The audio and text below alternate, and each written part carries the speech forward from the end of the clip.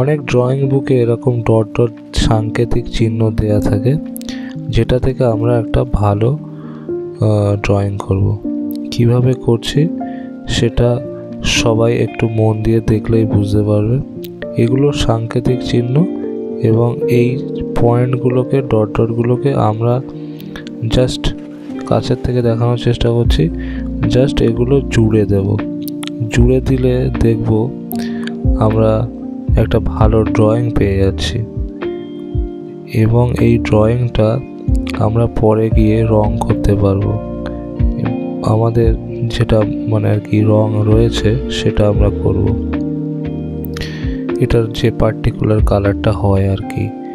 তো এই খেয়াল রাখতে হবে যে আমরা যে ডট ডটগুলো একটার সঙ্গে আরেকটা জুড়ে তার উপর দিয়ে যে লাইনগুলো টানছি, এই লাইনগুলো যেন বেঁকে না যায়। মানে ডটের উপর দিয়েই যেন যায়।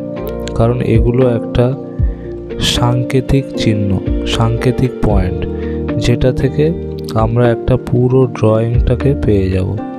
এগুলো আমরা যখন জুড়তে থাকব, পরপর দেখব আমরা একটা ভালো ড্রয়িং পেয়ে যাচ্ছি। এবং এই ড্রয়িংটাকে আমরা, এটা একটা কেটলি এবং এর পার্টিকুলার যে কালারটা হয়, সেই কালারটা আমরা করব।